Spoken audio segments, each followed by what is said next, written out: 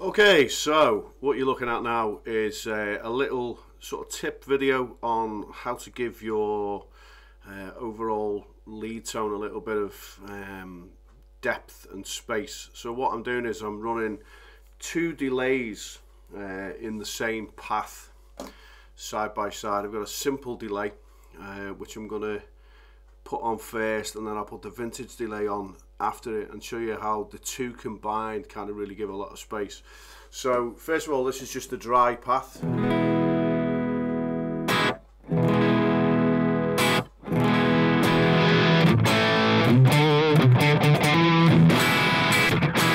Nothing there at all.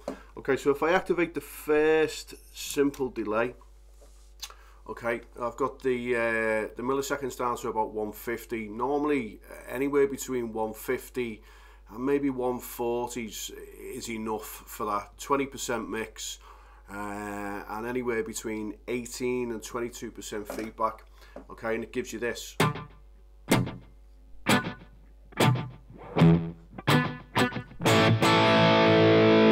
So already it's giving that sort of uh, false appearance of, you know, a, a massive, massive sound. Real quick.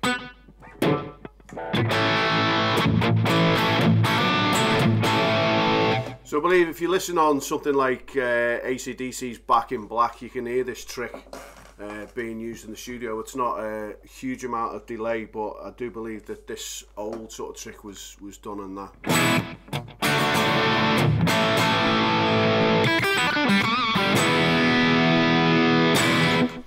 Okay, so the second delay is the vintage delay. This one's obviously got a lot more going on with it. Uh, I've got it on dotted 8, 40% feedback and mix is about 31%.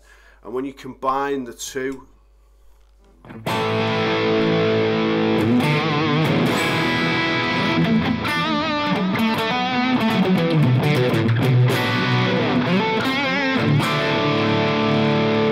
really get in the way of each other either. It's it's you know it's it's it's pleasant I think.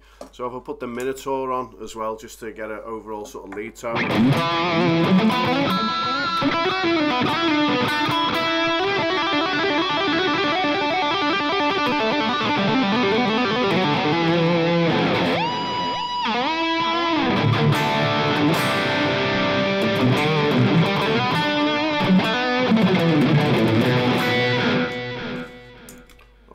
And then if I turn the vintage off.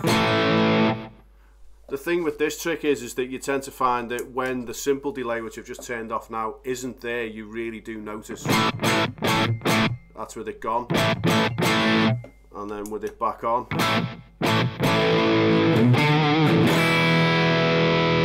And again with the vintage delay on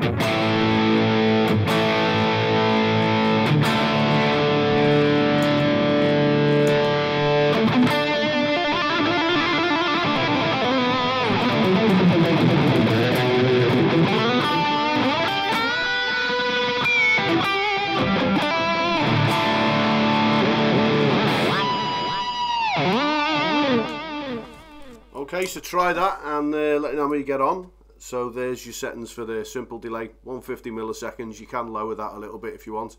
Uh, anywhere between 18 and 22% feedback, 20% mix, and the vintage delay is just there as well. 31% mix, 40% feedback, and I've got that on uh, dotted 8. So there you go.